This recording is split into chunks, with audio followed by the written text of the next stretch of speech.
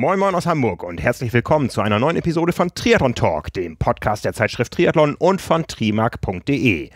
Ich bin Frank Wechsel, ich bin euer Publisher und mein Gesprächsgast heute ist ja ein alter Bekannter. Nicht nur von mir, sondern von der ganzen Triathlon-Szene. Ich habe gesprochen mit Hannes Blaschke.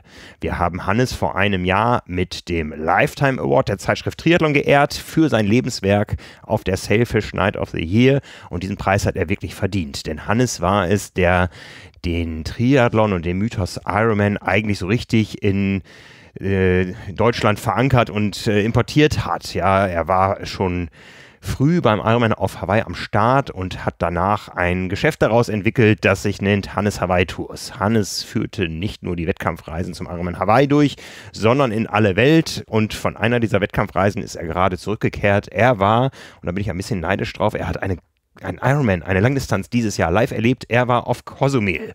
Darüber wird er mit uns sprechen, aber natürlich auch über seine ganzen anderen Unternehmungen, die in diesem Jahr doch deutlich anders gelaufen sind als geplant. Hannes ist ja auch Veranstalter vieler Trainingscamps ja, äh, Schwerpunkte in der Vergangenheit waren da sicher ähm, Mallorca und äh, Fuerteventura.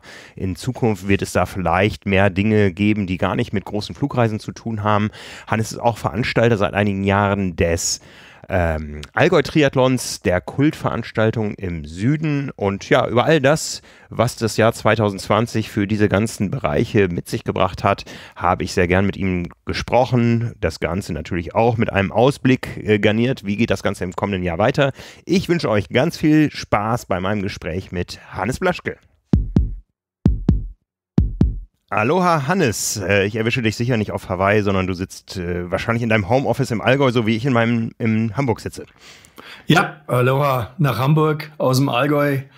Ähm, ja, ich sitze hier im Büro, äh, nicht mit Hawaii-Hemd, sondern mit einem Skipullover.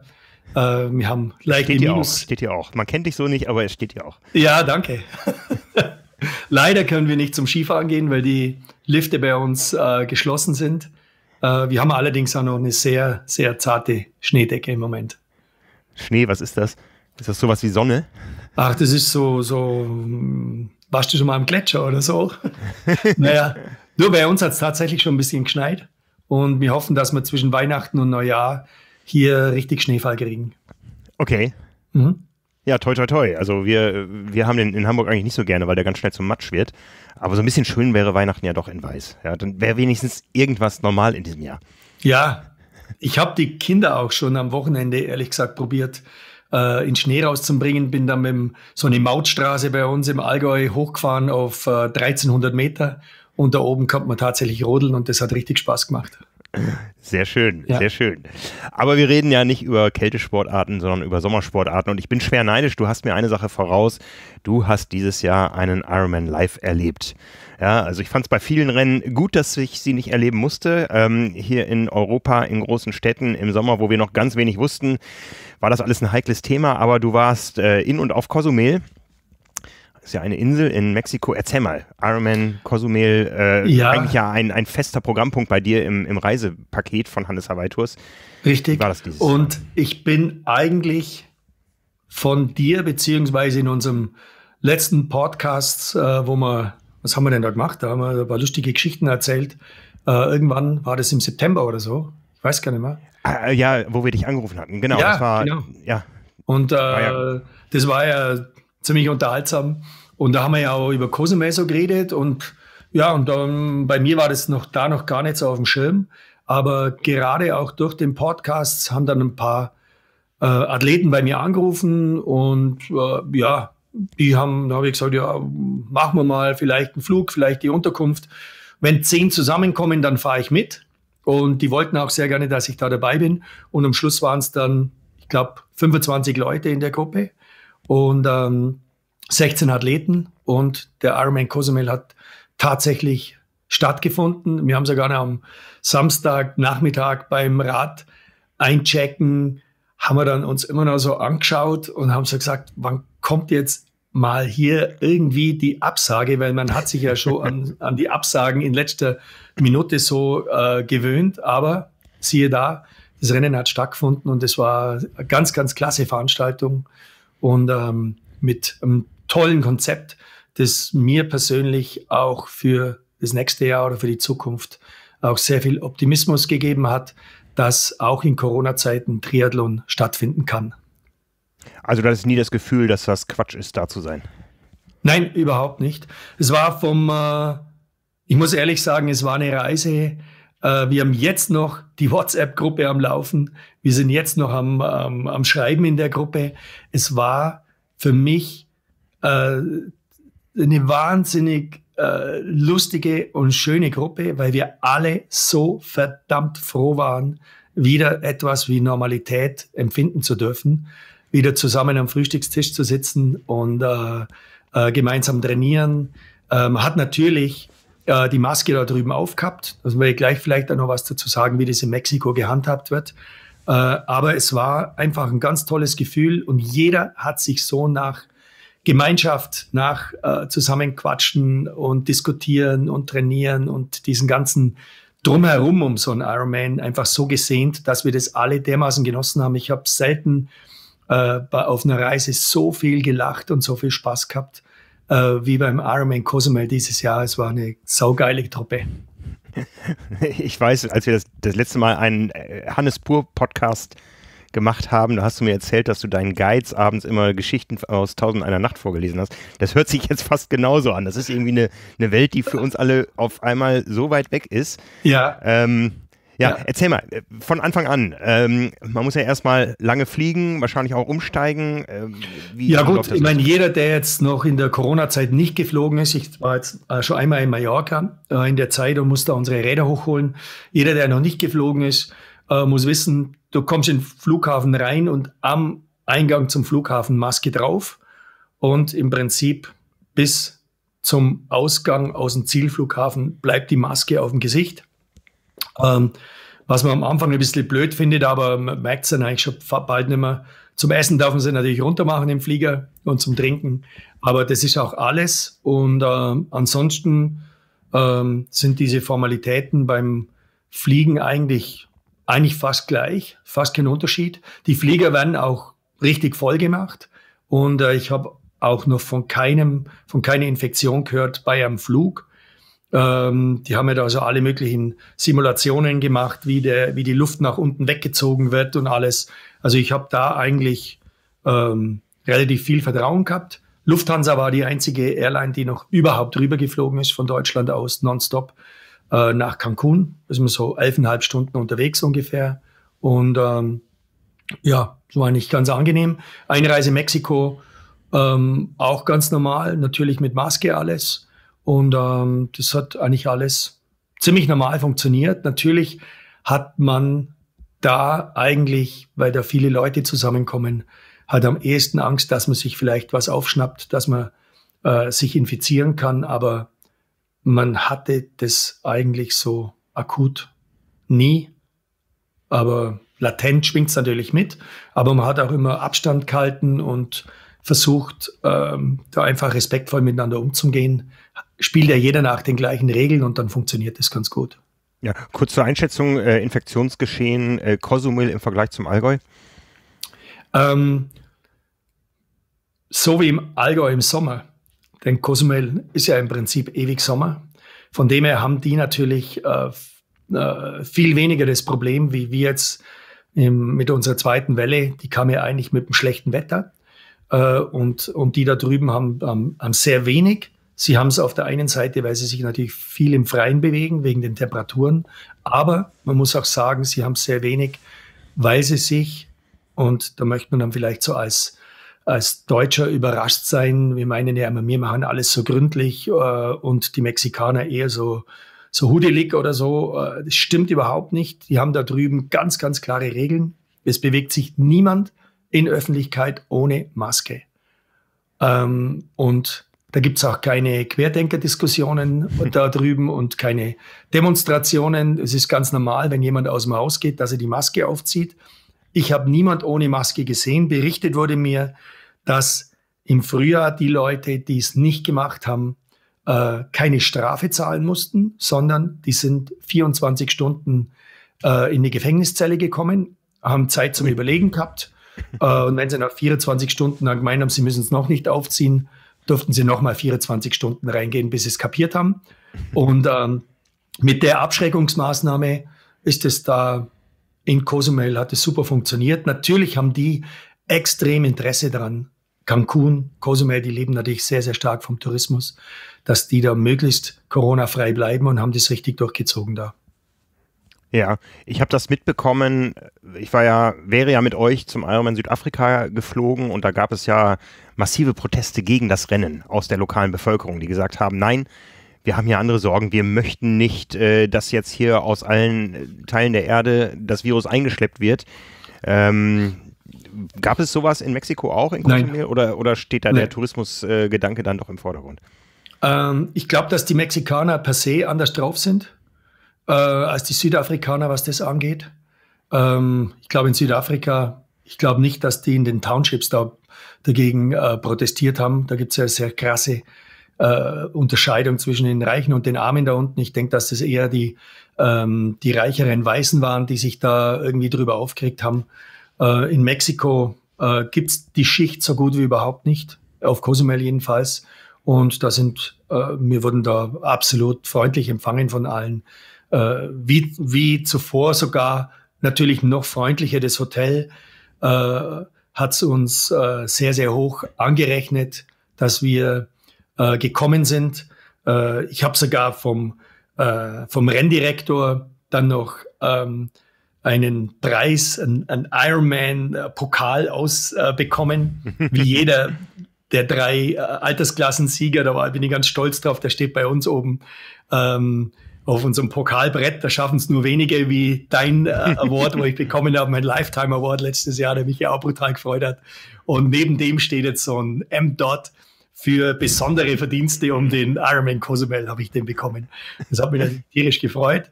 Und äh, ja, es sind so, sind so kleine Nettigkeiten, äh, wo man dann einfach merkt, Mensch, auch in schweren Zeiten muss man da zusammenhalten und das wird auch gewürdigt. Ja, wie war das Rennen so jetzt von der Größe im Vergleich zu sonstigen Jahren? Du warst ja, glaube ich, jedes Jahr da. Ja, also das Rennen hat man, ich habe ja das äh, Rennen im ersten Jahr nicht erlebt. Ähm, das war, glaube ich, 2009. Ab 2010 bin ich da.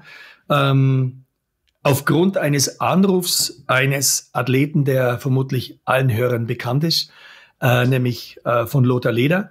Der mhm. war beim ersten Rennen in Cozumel, der war ja ein absoluter Vielstarter, der ähm, der Lothar und hat jedes Rennen abgegrast, was man so abgrasen konnte. Äh, der ist äh, nach Deutschland zurückgekommen und das Erste, was er gemacht hat, hat mich total begeistert angerufen, hat mir das Hotel geschickt, hat mir gesagt, Hannes, wenn da nicht hinfährst, bist selber schuld, äh, mach da eine Reise hin, das ist mega. Und ähm, dem Ratschlag bin ich dann ausnahmsweise mal gefolgt vom Lothar Manchmal ist es besser, seinen Ratschlägen nicht zuzuhören. Aber dem bin ich dann gefolgt und äh, habe dann, ähm, hab dann eine Reise eben gemacht. Ab 2010 war da drüben und habe das Rennen praktisch äh, von Anfang an erlebt und hat so angefangen mit 1000, 1500, 2000 und dann waren sie tatsächlich mal bei 3000 Teilnehmern. Und dann kamen aber im Süden von USA, ich glaube, das war dann in ja, einen in Florida gab es ja und dann kam noch mal irgendeiner dazu. Ich habe sie, Texas kam dazu und was kam da im Süden noch für einer dazu im späten, im Spätherbst, November, da kam irgendein Rennen auch noch dazu im Süden von den USA und der hat dann so die Amis ein bisschen zurückgehalten und dann ging es wieder so auf 2000 zurück und dieses Jahr waren es knapp 1000, die äh, auf die Strecke gegangen sind. Mhm, mh. Also schon deutlich weniger als normal, ähm, aber immerhin ein Age Group Rennen von 1000 Teilnehmern. Nicht, ich sage mal, so eine isolierte Blase wie in Daytona Beach, wo, ich glaube, was waren 50 Männer, 50 Frauen am Start. Ja, äh, aber auch 1000 Age Grouper. An, an Ach, waren? Ja, ja. Hm. Oh, ich habe ich hab nur das, äh, das Profirennen gesehen. Nee, da gab es auch ein Age-Group-Rennen, das ging dann sogar raus aus dem Stadion. Also das war äh, Challenge Daytona, hat ganz normal stattgefunden. Ach, alles klar, das überrascht mich jetzt, aber super. Toll, dass Sie das auch gemacht haben und Sie haben es bestimmt auch mit einem, äh, mit einem super Konzept gemacht. Ähm, das war ja, das war ja der, der Workaround, äh, den man uns offen äh, gehalten hat. Äh, es hieß, es gibt keine Medienakkreditierung, aber wenn ihr im Age Group im Age Group Rennen startet, dann seid ihr schon im Stadion, dann schmeißen wir auch nicht raus. Ah, alles klar, alles klar. aber ja, ja, ja. ja, drum waren da auch mal so dann im Ziel im Zielbereich von Daytona, da war es ja mal so ein bisschen grenzwertig, die Bilder, die man da gesehen hat. Da waren die Leute. Du, du, du, musst die Bilder, du musst die Bilder, den Film mal anhalten, dann siehst du, wie die Leute da sich zum Anschreien die Masken runtergezogen haben. Ah, haben sie? Ja. Okay, okay. Also ich habe da, mir ist das schon aufgefallen bei der Übertragung, dass das so, da habe ich gedacht, uh, so an, ja, der, an, der, an der Grenze. Aber ähm, das war zum Beispiel in Cozumel, wenn ich das noch kurz sagen darf, so diese Eckpunkte der, äh, des, des, des Konzeptes da, war klar, es gab keine Wettkampfbesprechung. Es gab eine aber digital. Also konnte man im Prinzip sich das irgendwann auf, auf dem Hotelzimmer runterziehen, sich mhm. das anschauen. Es gab äh, vier Gruppen, in die man sich einteilen konnte. Also im Prinzip viermal 250 Personen, die dann in einem bestimmten Timeslot ihre äh, Startunterlagen abgeholt haben, die dann in einem bestimmten Teilslot, Timeslot dann auch ihr Fahrrad abgegeben haben, äh, ihre Beutel hingehängt haben, alles selber gemacht also niemand hat da irgendwie was äh, in die Hand genommen. Die Leute haben ganz selber ihre Räder dahingestellt und alles. Also da ging alles komplett entspannt, natürlich unter freiem Himmel alles ab. Und ähm, am Rennmorgen ähm, war auch genügend Platz einfach in den Wechselzonen, dass man den Mindestabstand hat einhalten können. In die Busse, äh, die dann die Leute zum Start gebracht haben. In Cozumel ist ja eine One-Way-Schwimmstrecke, äh, was Übrigens, allen schlechten Schwimmen da draußen vielleicht so als kleiner äh, Tipp von mir, Geheimtipp Cozumel. Ähm, es haben alle meine Reiseteilnehmer ihre persönliche Bestzeit im Schwimmen aufgestellt. Ähm, hast, du mal, hast du mal ermittelt, wie lange man brauchen würde, wenn man die Arme nicht bewegen würde? Ähm, das werde ich dann machen, wenn ich da selber vielleicht doch noch in die Stadt gehe. Ich nehme meine große Bürste mit und, und lege mich da ins Wasser rein und lasse mich 3,8 Kilometer runtertreiben. Also ich ehrlich gesagt, ich glaube nicht, dass man in den 220 ankommt, sagen wir mal so. Okay. also ich glaube, du wirst aus dem Rennen, du sollst zwischendrin schon mal so einen kleinen Schlag machen. Aber ähm, nein, ich möchte jetzt auch nicht übertreiben, aber äh, es haben wirklich ähm, viele ihre persönlichen Bestzeiten aufgestellt. Das ist ein Strömungsschwimmen, äh, was ganz toll ist, ein wunderbares Schwimmen da. Und ähm, die Leute sind dahin gebracht worden, wie der Start dann war. Das war wirklich sensationell.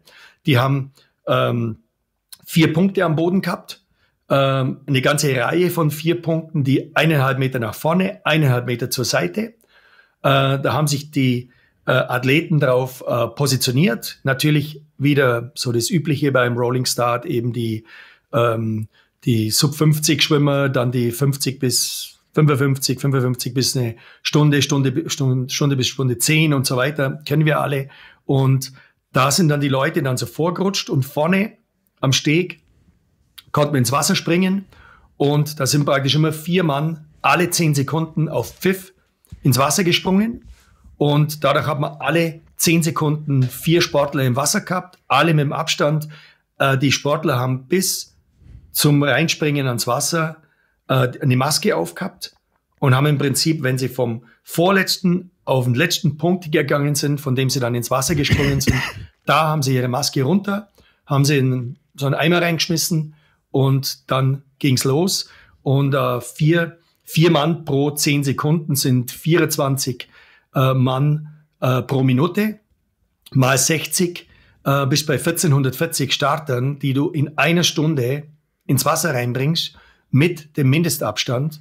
Und äh, das war sehr, sehr äh, impressionante. Also das hat mich sehr beeindruckt. und äh, das habe ich natürlich auch den, äh, den Mexikanern so gesagt und die haben sich auch sehr gefreut, wie das Konzept ankam bei allen. Es war wirklich toll. Und ähm, auf dem Rad gab es dann von den Zuschauern her an den, an den Magnetpunkten Aufstieg Fahrrad, rote Linie, wo früher immer sehr viele gesta Leute gestanden sind, durfte überhaupt niemand hin. Du durftest allerdings an die Strecke dich irgendwo hinstellen, wieder mit Abstand. Und ähm, ja, dann vom Rad runter muss man das Rad selber hinhängen, also es wird dir nicht abgenommen. Ähm, aber mal unter uns, wer regt sich da drüber auf? Niemand. Ja. Früher hätte man das immer auf der Negativliste von einem Rennen. Mir wurde das Fahrrad nicht abgenommen, ich habe drei Sekunden verloren oder sonst irgendwas. Ah, ich erinnere mich an Ironman-Rennen in großen ja. deutschen Städten, wo die Leute froh gewesen wären, wenn sie ihr Rad hätten selber ordentlich hinhängen dürfen. Ah ja, stimmt, das gab es auch schon. ja. Ähm, ja. Das kommt dann wieder aufs Hilfspersonal drauf an, ähm, wie die einen vom Rad runterzerren oder auch nicht oder was die da so machen. Aber was ich sagen will, ist, die Athleten waren so dankbar, dass überhaupt dieses Rennen hat stattfinden können, dass sie das Rennen haben machen dürfen. Die waren so glücklich, dass denen diese kleinen Dinge, über die man sich normalerweise aufregt, waren komplett egal. Und das würde ich mir wünschen, wenn das bleibt von dieser Krise, wenn wir uns wieder mal so aufs Wesentliche konzentrieren, was Triathlon eigentlich bedeutet. Und das heißt einfach die Schönheit von dem Sport zu genießen und sich nicht über irgendwelche Kleinkacker-Details aufregen, die jetzt vielleicht nicht funktioniert haben oder wo der Veranstalter 100 Prozent versagt hat oder sonst irgendwas. Äh, also ja viel, back to the basics. Ja. ja. Ja. Es gab ja viele Aufreger so im Saisonverlauf nach verschiedenen Ankündigungen. Andrew Messick hatte mir im Gespräch mal gesagt, äh, wir kennen das aus Ultramarathonläufen, da läuft niemand ohne Trinkweste. Das werden wir im Ironman auch so sehen, aber so Verpflegung und sowas, das war alles noch. Äh, das war top. So. Das war ja. top. Äh, was bei der Verpflegung war, der Special Need musstest du selber abholen, sowohl beim Rad, da hat es ein bisschen gedauert, und musst halt absteigen und deine Tüte holen, die wurde dir nicht gegeben, und beim Laufen auch selber holen und beim Radfahren wurden dir von Helfern mit Maske und mit Handschuhen die Flaschen reingegeben, aber beim Laufen hat man die äh, Sachen vom Tisch einfach weggenommen. Genauso die Bilder von Daytona haben ja wahrscheinlich viele gesehen. Genauso wie es da gehandhabt wurde. Da wurden die Sachen einfach immer von den Helfern wieder nachgeschoben auf den Tisch. Und, äh, und da haben die Leute das runtergenommen und das hat super funktioniert. Das war toll. Ja, wunderbar. Im Ziel, keine Zuschauer im Ziel, ich meine, es ist jetzt bestimmt nicht was, was man zehn Jahre so sehen will bei der bei Triathlons, aber die Abstriche muss man jetzt halt mal machen. Auch nicht die Riesenstimmung ins Ziel. Natürlich äh, kamen äh, die Worte auf Cozumel, die heißen da drüben nicht äh, You are an Iron Man, sondern äh, da heißt dann Du eres un Ironman. ja. Das finde ich immer geil da drüben. Hört sich schöner an, als du, du bist ein Eisenmann. Du eres Mann.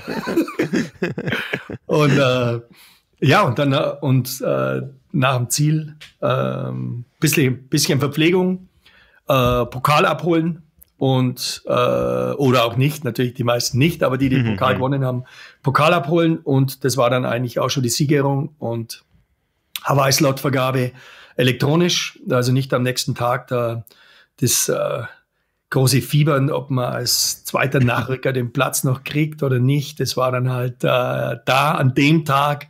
Ich war ja auch mit der Gruppe dann natürlich zusammen und wir haben dann Spaß gehabt am Montag nach dem Rennen. Äh, war natürlich alle fünf Minuten äh, Check auf dem Handy, äh, ob das Mail vom Ironman schon kam, äh, ob man okay. qualifiziert ist. Und äh, aber ich habe doch die Altersgasse gewonnen. Warum haben die das E-Mail noch nicht geschickt? Hannes, schick doch mal bitte. Du kennst die doch und so weiter und so fort. ähm, ja, da weiß ja jeder, glaube ich, der mal in Richtung Quali unterwegs war, dass es dann eins ist, das Rennen zu beenden, sich darüber zum freuen. Ich habe die Quali oder bin ganz knapp dran und dann noch das andere, bin ich vielleicht doch noch irgendwo disqualifiziert worden, äh, bin ich in der Ergebnisliste, haben die meinen Chip ausgelesen und und und und da kommen oh, ja tausend Zweifel dann wieder, die kennen wir alle und dann wartet man natürlich auf das, ähm, auf den erlösenden Moment, wenn man äh, normalerweise dann vor dem äh, Tisch, wo man sich einschreibt, seine Kreditkarte abgibt, 1000 Dollar abgebucht werden und man einen Freudentanz bei dieser Gelegenheit vollführt. Ähm, für Außenstehende etwas schwer zu verstehen, aber für alle Insider, die wissen, was da abläuft.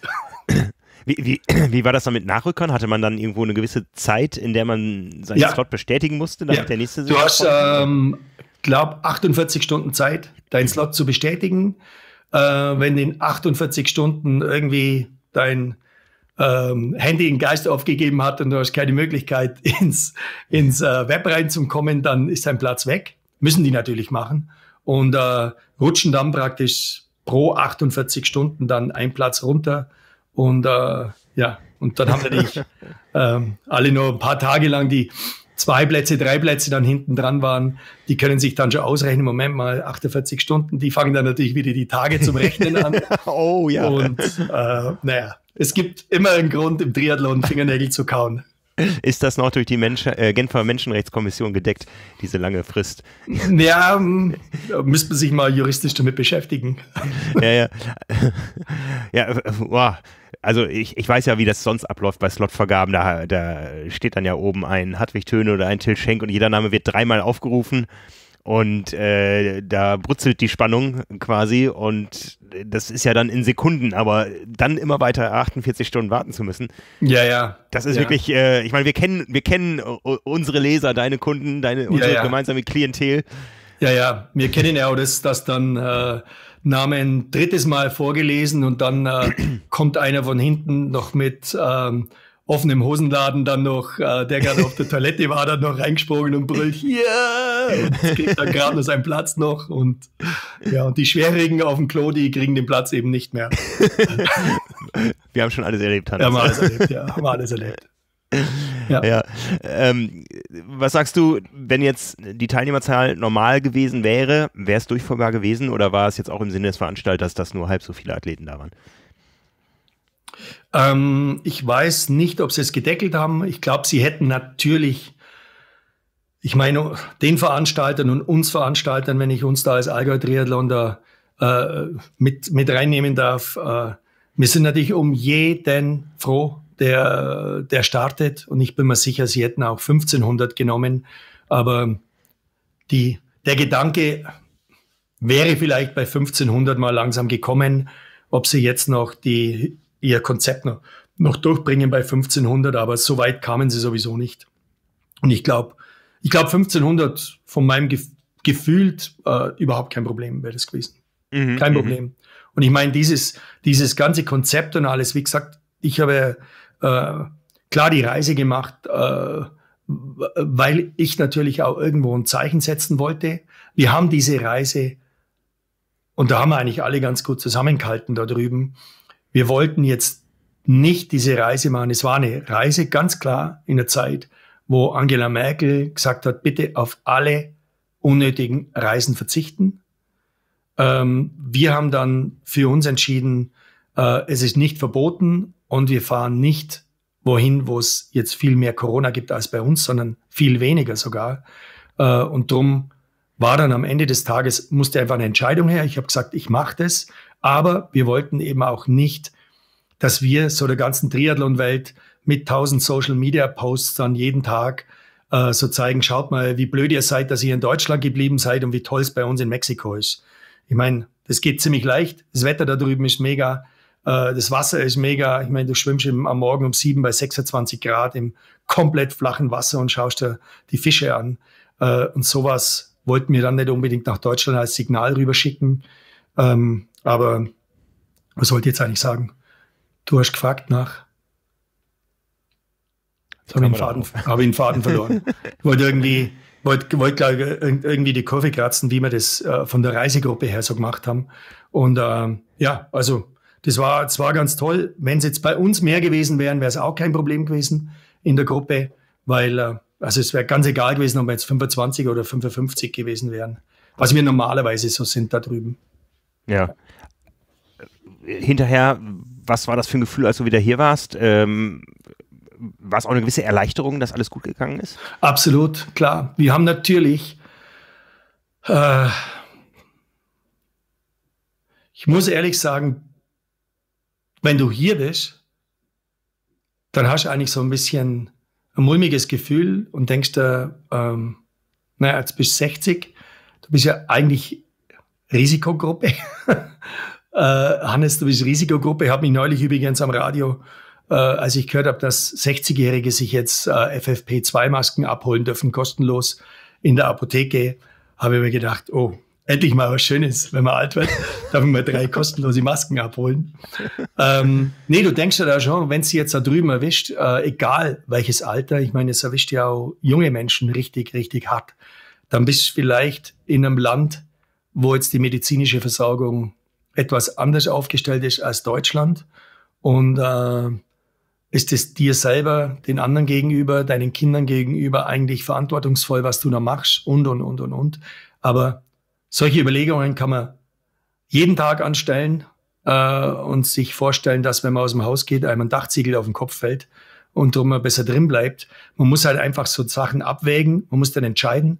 Ich habe mir dafür entschieden, das zu machen und habe dann drüben 0,0 Gedanken daran gehabt. Ich habe mir da drüben die Maske sauber aufgezogen, als ich aus dem Hotelzimmer gegangen bin, habe mich über die auf der Anlage auf die äh, republikanisch wählenden äh, US-Bürger ein bisschen eingeschossen, die gemeint haben, keine Maske zu tragen sei ein Political Statement. Äh, habe mich dann auf CNN immer angeschaut, ähm, die Maske und unter der Maske war immer gestanden, uh, this is just a mask. It's not a political statement. ähm, das fand ich sehr, sehr gutes Ding, aber wie gesagt, gerade so die Trumpianer äh, auf der Anlage, die haben dann gemeint, sie müssten das dokumentieren, dass sie so stark sind und eben kein Corona kriegen und deswegen keine Maske tragen müssen. Das war ein bisschen blöd drüben. Und da hat man sich immer wieder so erinnert gefühlt. Aber sonst war das einfach ganz normal, die Maske zu tragen. Da hat sich keiner irgendwas geschissen. Genau, du wolltest wissen, ob wir Angst gehabt haben, äh, beim, ob was passiert dann und auch beim Zurückkommen, wie es war. Ja, wie, wie erleichtert du warst, als du wieder Total. warst und. Ja. Total. Wir haben natürlich noch gewartet, denn du hast ja eine, eine, eine Inkubationszeit, nennt man das, glaube ich, oder? Du bist Arzt. Äh, ja. Eine Inkubationszeit von zehn Tagen, bis es ausbricht, meine ich, und nach fünf Tagen, bis du positiv getestet wirst. Genau, in der Größenordnung. Genau. Wenn du jetzt, wenn wir uns jetzt am letzten Tag in Cozumel praktisch angesteckt hätten, hätten wir im Prinzip noch vier, fünf Tage daheim noch einen negativen Test äh, gehabt. Ähm, und drum haben wir ja alle fünf Tage in die Quarantäne gemüsst oder müssen. Und äh, also ich zumindest, weil ich, äh, wie haben die Ärzte zu mir gesagt in unserer Gruppe? Sie müssen nicht in Quarantäne, weil sie einen systemrelevanten Job haben.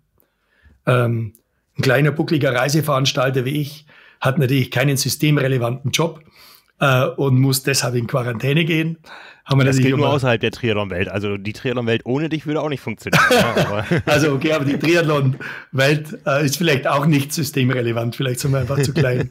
Und ähm, jedenfalls ähm, bin ich dann in Quarantäne gegangen, habe die fünf Tage abgewartet, habe dann meinen Negativtest gemacht und musste bei die sechs Tage in der Quarantäne bleiben.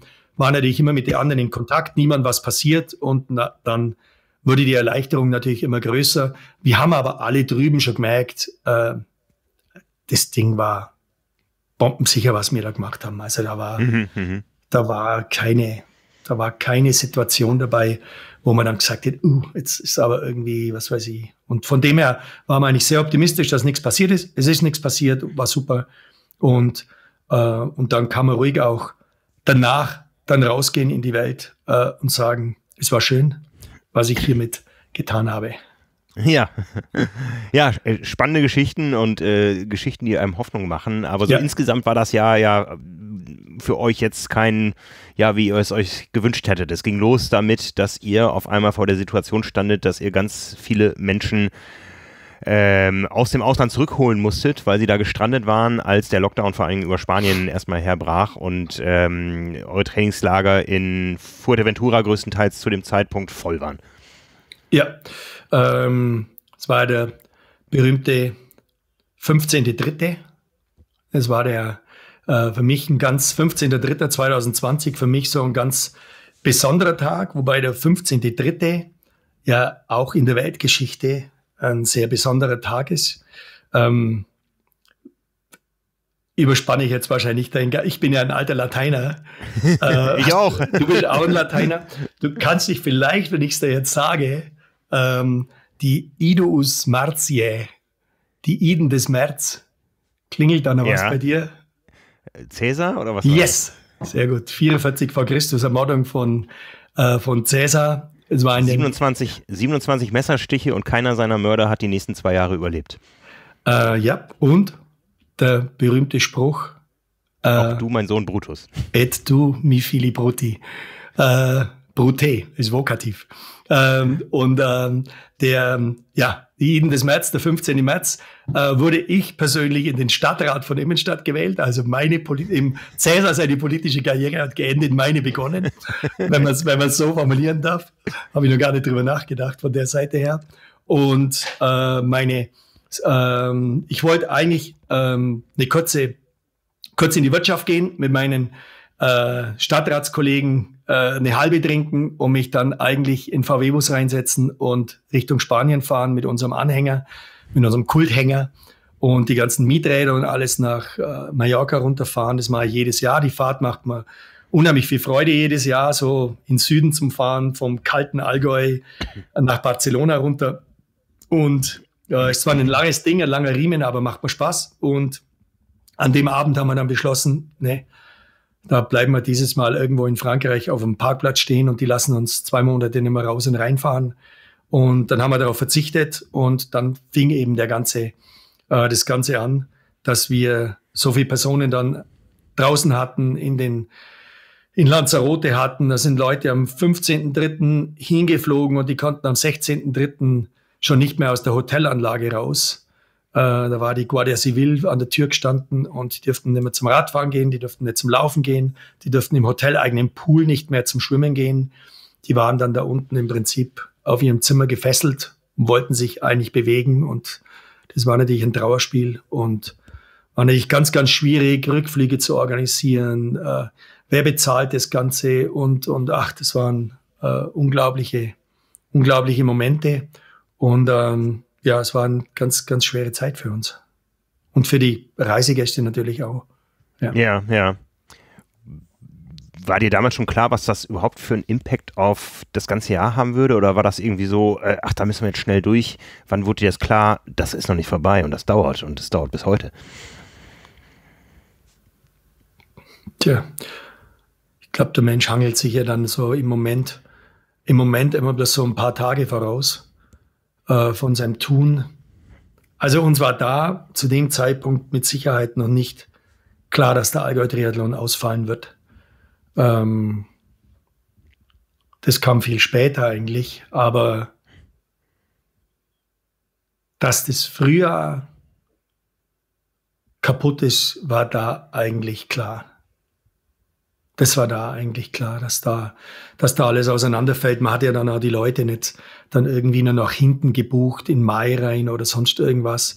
Das war eigentlich ziemlich schnell klar, dass das ein richtiger Meteoriteneinschlag ist.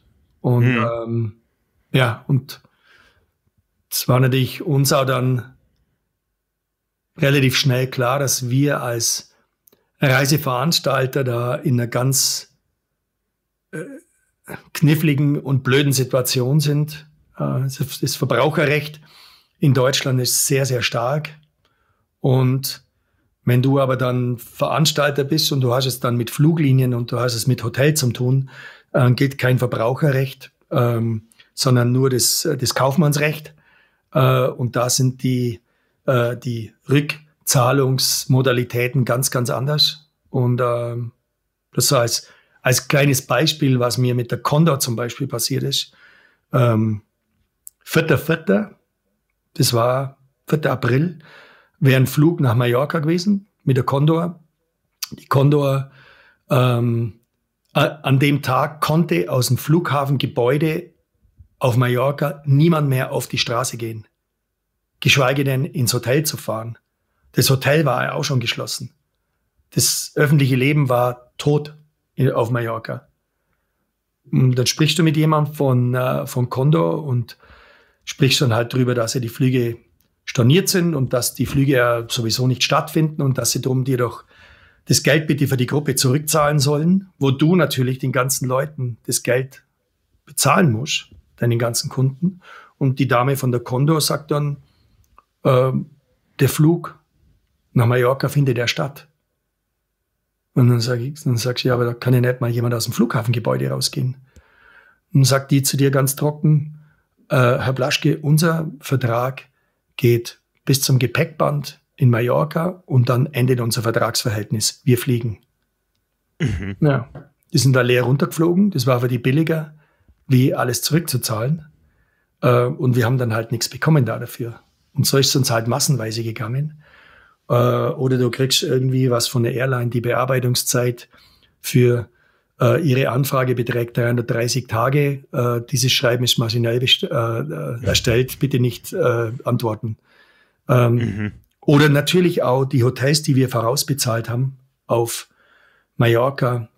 Unsere Partner da unten, die gaben uns dann halt auch zu verstehen, wir sollen doch bitte lieber nächstes Jahr äh, unsere Vorkasse oder unsere Bezahlung, was wir bezahlt haben, einfach abwohnen, weil sie seien einfach nicht imstande, uns das jetzt zu bezahlen, auch wenn sie es müssten. Und äh, dann haben wir im Prinzip das Geld jetzt alles irgendwo außen geparkt, mussten selber einen großen Kredit nehmen und äh, sind natürlich jetzt in einer Situation, wo wir auch von anderen natürlich abhängig sind, wenn die Hotels in Mallorca jetzt pleite machen. Ich meine, das Haus wird noch stehen, das Hotel wird es nächstes Jahr auch wieder geben, nur ist es noch der gleiche Besitzer von dem wir noch Geld bekommen oder ist der Konkurs gegangen und wir kriegen gar nichts mehr. Mhm. Also wir sind halt mhm. gerade in einer sehr, sehr großen Ungewissheit, äh, was passiert. Nichtsdestotrotz ähm, haben wir ja unser ganzes Programm äh, wieder aufgestellt für nächstes Jahr, auch für die Trainingslager und äh, haben auch jetzt im November ein äh, überraschend erfolgreiches Schwimmcamp. Der Christoph Fürleger, der hat ja da als, als Schwimmer natürlich und als, als Super Campleiter natürlich auch so seine, seine, seine, seine, seine, Fans und seinen Stamm, äh, der da immer mitfährt, aber auch viele neue sind hingefahren und wir waren mit 50 Leuten jetzt im Schwimmcamp unten auf Fuerteventura in Pleitas und äh, natürlich auch nicht mit dem Buffet, wie es die letzten Jahre war und nicht mit dem Luxus, der in dem Hotel normalerweise herrscht. Aber auch da waren die Leute alle glücklich, dass man überhaupt was machen konnte. Und äh, mhm. ja, und, und so, so ist die Situation jetzt gerade. Und Silvestercamp findet auch statt. Und ähm, wir wollen dranbleiben, haben unser Programm allerdings natürlich so auch angepasst auf mehr Inlandstourismus. Wir haben ja letztes Jahr oder äh, diesen Sommer eigentlich schon reagiert und haben ein paar Camps hier im Allgäu gemacht. Und äh, das war echt toll. Äh, schönes Wetter gehabt, hätte auch anders kommen können, ist halt immer so. Aber auch da ist mal beim Regentag, sind die Leute ganz anders drauf wie in Fuerteventura. Wenn es da mal einen Tag regnet, dann kommen sie zu dir und sagen dir so ungefähr, ey, wieso regnet es hier? Ich habe doch Sonne gebucht. I want my money back. Und äh, hier im Allgäu sind sie froh um jeden Tag, an dem Sonne scheint und gehen eher von Regen aus. Also die Erwartungen sind einfach jetzt ganz anders geworden bei den Leuten, was, was sehr Positives ist eigentlich. Ja, Stichwort I want my money back. Ähm, wie viel Solidarität hast du unter den Triathleten selber erfahren dürfen? Ähm, oder gab es da auch äh, in großen Massen Leute, die einfach eure Situation nicht verstanden haben? Äh, wir kennen diese ganzen Diskussionen, Startgeldrückforderungen an Veranstalter. Ihr seid auch Veranstalter. Wie, wie hast du die Szene insgesamt wahrgenommen in diesem Jahr? Ähm, also da muss ich ein bisschen unterscheiden zwischen Reise und zwischen Triathlon. Mhm. Bei den Reisen ist ja was viel Persönlicheres, sage ich jetzt mal. Beim Allgäu-Triathlon oder bei so einem Triathlon starten ja viele Menschen, die du auch, die halt einfach beim Allgäu-Triathlon starten, bei Hannes Hawaii Tours fahren eigentlich viele mit, die uns schon kennen und die schon mit uns auch unterwegs waren. Und da, das war schon, muss man schon differenzieren.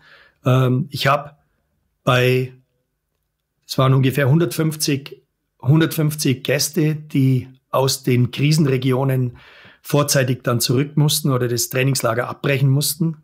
Und ähm, bevor wir denen jetzt einfach so ein Formular schicken, äh, so ein kaltes, wo dann drin steht, äh, ja, Spende, Spende oder willst du alles zurück? Äh, da kreuzen die Leute natürlich eher alles zurück an als irgendwie Spende. Und äh, das war auch nicht unser Stil irgendwie. Und ich habe dann, ich habe dann zu meinen Leuten gesagt, gebt's mir einmal die komplette Liste mit allen Daten drauf. Ich rufe jeden einzeln an. Und das habe ich dann gemacht. Das war, das waren sehr, sehr, sehr bewegende Momente. Ich erinnere mich, äh, wir haben in der Phase mal telefoniert. Für mich, das war echt brutal. Äh, du rufst eigentlich an und ja, redet, die sagt, jedes Gespräch war anders. Ich konnte nicht mehr als 10, 15 am Tag schaffen, weil die eigentlich relativ lang waren, alle die Gespräche, und sehr, sehr intensiv waren die Gespräche auch.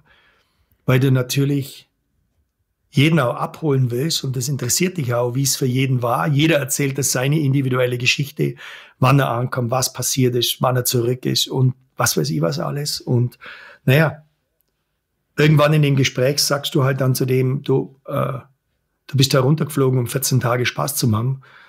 Du warst nach dem ersten Tag eingesperrt und bist nach zehn Tagen zurückgeflogen. Äh, es war alles andere als ein Triathlon-Trainingslager. Und ähm, du brauchst äh, selbst der schlechteste Anwalt würde dir genügen, um 100 Prozent von deinem Reisepreis von mir zurückzufordern. Das war ja klipp und klar. Und, und, äh, und was sich dann teilweise für Szenen abgespielt haben, wie großzügig äh, viele von unseren Gästen waren und wie die dann einfach so teilweise echte Liebeserklärungen an Hannes Hawaii Tours abgeliefert haben und was sie schon erlebt haben mit uns und wie toll unsere Guides sind und dass sie unbedingt wollen, dass es weitergeht und dass das einfach, also da kam so dieses HHT Family Spirit, der kam da so, so krass für mich, hat es aufgeschlagen. Das habe ich einfach überhaupt nicht erwartet. Und es war für mich, äh, also ich habe da nicht einmal, einmal geweint, äh, sondern zigmal geweint bei den, äh, bei, den, bei, den, bei den Telefonaten. Du weißt, ich bin ein emotionaler Mensch. Und es hat mich wirklich, das hat mich wirklich tief berührt und es hat mir, mir persönlich auch einfach dann eine wahnsinnig viel Kraft gegeben und äh, dann einfach zum sagen, hey, die, mir, die Leute wollen das da draußen, dass es uns gibt und wir kämpfen weiter.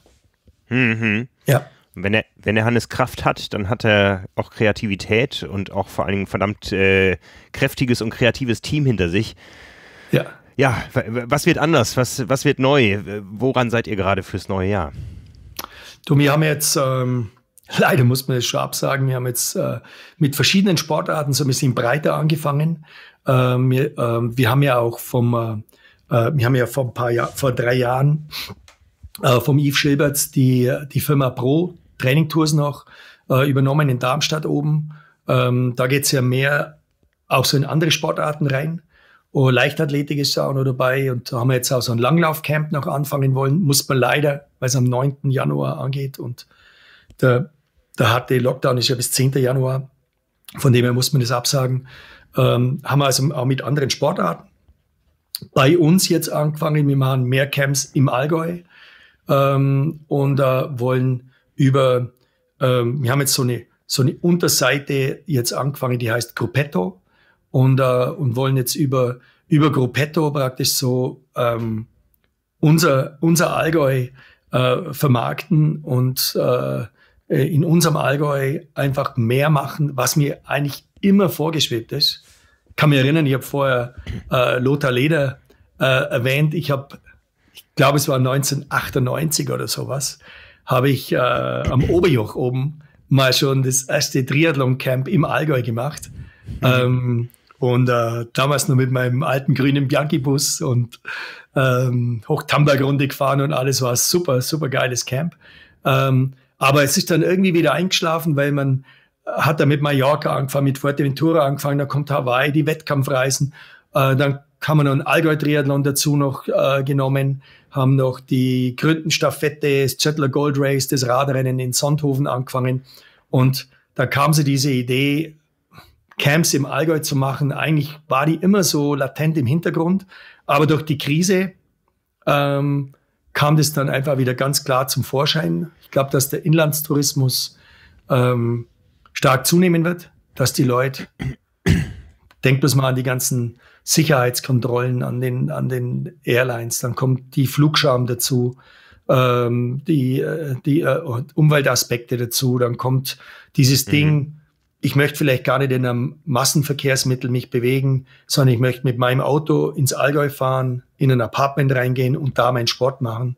Ähm, das äh, wird, denke ich, stärker kommen und den Markt wollen wir natürlich bedienen und da wollen wir dabei sein und das sehen wir als unsere große Chance jetzt ich kann ja jetzt mal kurz spoilern, wir müssen uns gleich äh, gegenseitig rückversichern, dass wir es nicht rausschneiden müssen. Es läuft äh, parallel ein, eine Konferenz äh, von deinem Nebenzimmer zu meinem Nebenzimmer, wo äh, gerade unser Power and Pace Camp im Allgäu Ende Mai beschlossen wird. Oh. Besprochen wird. Oh, wunderbar. W wusstest du gar nicht? nee, aber nicht gewusst. Nee. Ja, also naja, das sind ja mit euch natürlich auch dran, das weiß ich natürlich, aber ich habe nicht gewusst, dass ihr jetzt da gerade drüber redet. Toll. Ja, ja, genau. Ende Mai, eine Woche Allgäu. Äh, Trainingscamp, ähm, Zielrichtungen, die Langdistanzen in Deutschland, die dann hoffentlich kommen, da kommen wir gleich noch zu. Und ja, ähm, ja ich kann euch bloß sagen, Ende Mai ähm, ist bei mir so das Bild Allgäu, grüne Wiesen, eigentlich gelbe Wiesen, weil da Löwenzahnblüte voll im, voll im Gange ist.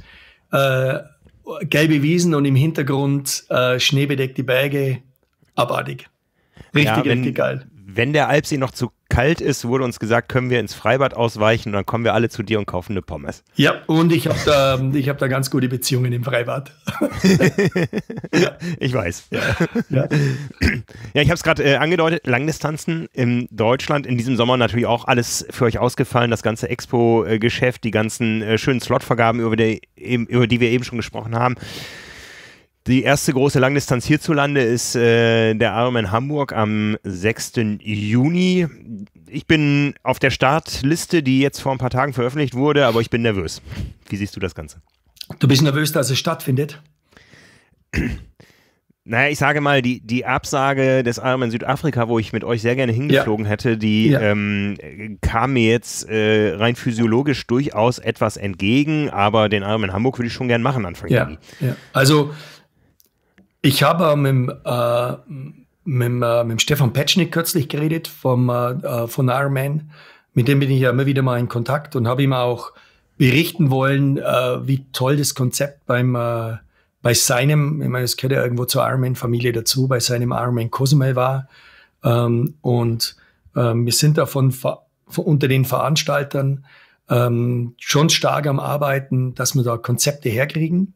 Ähm, äh, auch mit Ironman äh, zusammen und äh, wollen da einfach für die Behörden auch was äh, irgendwo denen zeigen, ey, es ist eine Veranstaltung unter freiem Himmel.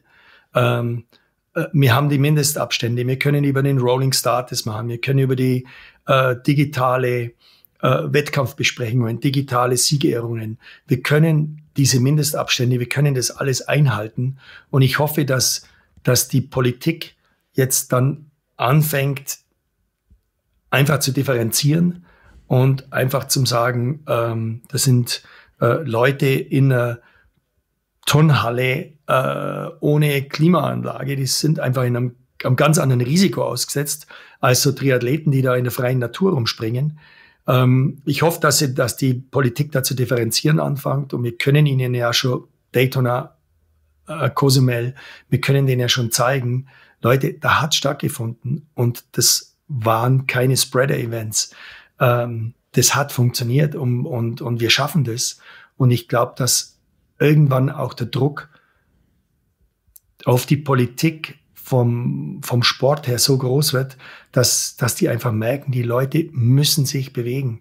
Das ist auch mein großes Ziel jetzt neben dem, äh, neben dem, dass wir den Triathlon wieder äh, in Gang bringen, ich bin gerade an, einem Konzept mit der Stadt am Arbeiten dran, dass wir das Freibad dieses Jahr hier in Emmenstadt viel früher aufmachen als normal, dass wir mhm. nicht nur schwimmen, sondern dass wir von Tischtennis, Trampolin und Fußball und Volleyballfeldern für kleine Kinder und, und, und, und, und, dass wir einfach so eine richtige Bewegungsmaschine daraus machen, dass die Kinder das, was sie jetzt alles verlieren, dass sie da wieder an den Sport rankommen und dass wir da wieder anfangen, die Menschen zu bewegen, weil klar, wir reden über Triathlon, wir reden über Triathlon auch im, ähm, im Hochleistungsbereich sehr gerne, aber was die Triathlon-Bewegung äh, insgesamt und die Sportbewegung insgesamt in Deutschland, wie wichtig die ist für das geistige und fürs körperliche Wohlbefinden von uns allen.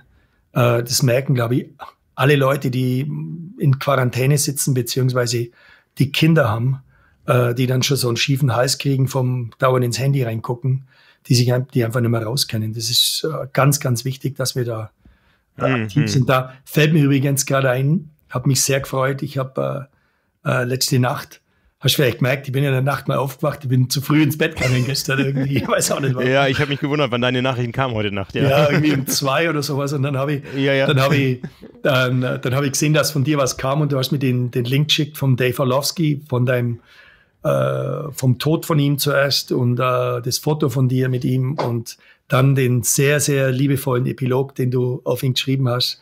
Ja, ähm, schön das hat mich, äh, das hat mich e-, echt gerührt, wie du das geschrieben hast. Das war, war ganz toll. Und Beileid auch noch für dich. Ich habe mit Dave eigentlich nichts zu tun gehabt, aber man hat, man hat gemerkt, ähm, wie nahe es dir geht und du hast es ganz toll geschrieben. Und du hast auch geschrieben, dass du eigentlich dich bei Leuten wie den Dave eigentlich ganz, ganz tief verneigst vor denen, weil die damals irgendwo dieses große Abenteuer angefangen haben, dieses Abenteuer Ironman 1978 die haben es angefangen, du hast es importiert. Ja, okay, ich war da auch ein kleines Rädchen davon, aber das sind Leute, die, die, die einfach die Bewegung da äh, nach Europa gebracht haben und es war schön zum Lesen, dass du persönlich einfach auch dann über, über solche Leute dann in das ganze Thema reingerutscht bist und äh, das ist einfach verdammt wichtig. Ja.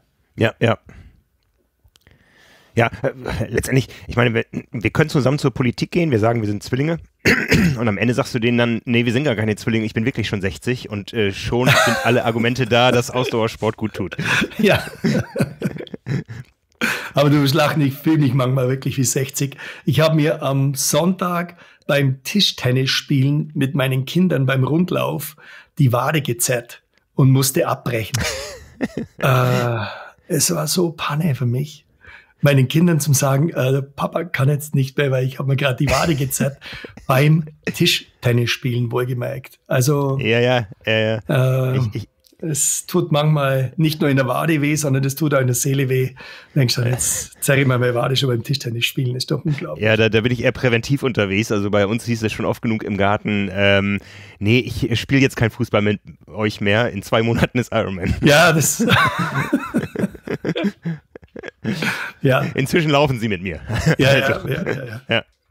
Ja, jetzt haben wir über, über so ein paar Dinge gesprochen, die im Sommer kommen, aber natürlich äh, möchte die Triathlon-Welt wissen, wie geht es auch mit den ganz großen Events weiter. Werden wir im nächsten Jahr einen Ironman Hawaii haben und wenn ja, wie sieht der aus? Du hast enge Drähte nach Tampa, äh, nach Kailua Kona. Was denkst du über das äh, nächste Jahr? Ähm, ich glaube, dass es stattfindet. Ich glaube auch in Hamburg. Ähm, ich glaube, dass wir nächstes Jahr, äh, dass wir nächstes Jahr die Rennen sehen werden. Wir werden sie anders sehen, glaube ich. Äh, wir werden sie eben mit diesen Konzepten, glaube ich, sehen.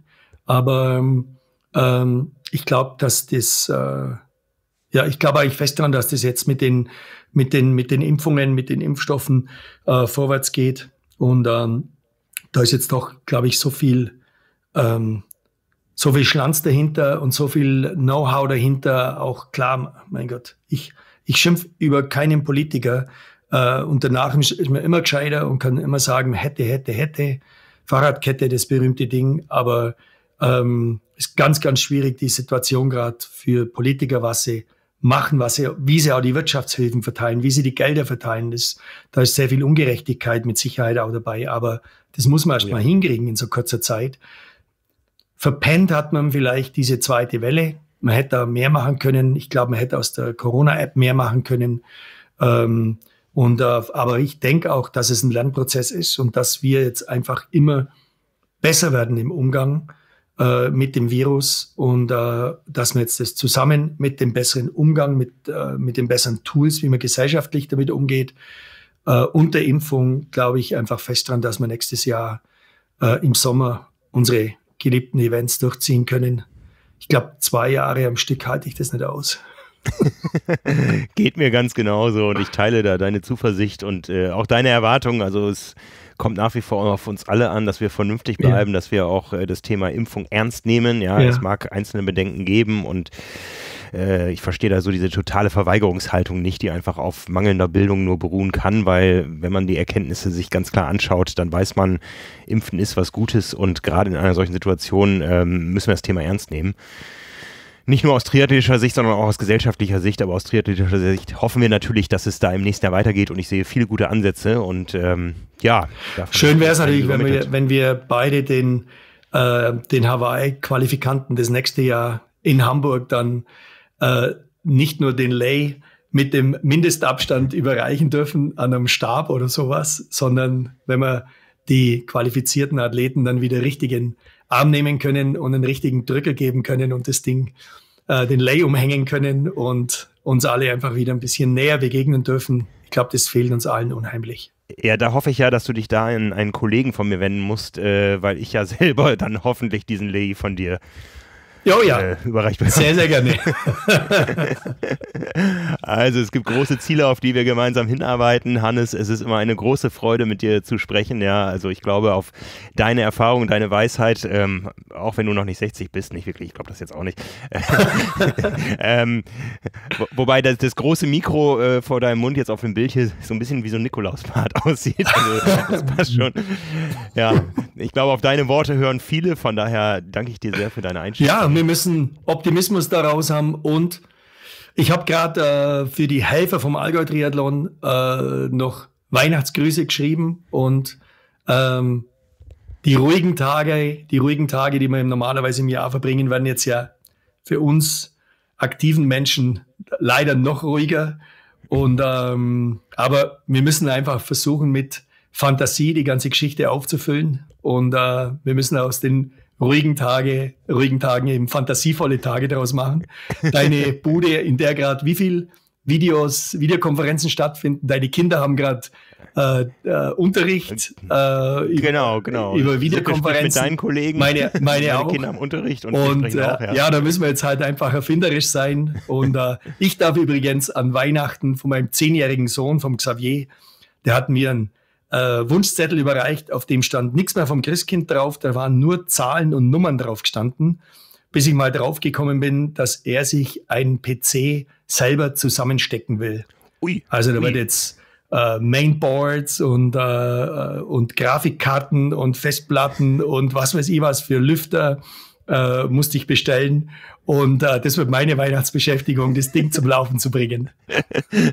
Sehr gut. Auch ja. dabei wünsche ich dir viel Erfolg. Ja. Ja, Hannes, vielen Dank. Ich wünsche dir schöne Weihnachten, dir und ja. deiner Familie und deinem ganzen Team, ja, und äh, ein, eine besinnliche Zeit und einen guten Rutsch in ein besseres 21. Danke vielmals. Frohe Weihnachten an alle da draußen. Und äh, Frank, ganz herzlichen Dank an dich, dass, ich, dass du mich nochmal eingeladen hast. Ist mir immer eine große Freude ich hoffe, dass ich, wenn ich mal irgendwann zu langweilig werde, dann muss mich halt nochmal nicht mehr anrufen und rausschmeißen. Ähm, aber ich hoffe, ich habe nicht zu viel gelabert und habe dich genügend reden lassen. Und, Nein, äh, alles gut, alles gut. Wir alles gut. Hören. Okay. Ich ja, wünsche euch was. Ich danke dir. Mach danke. Ciao. Ciao. Ciao, ciao.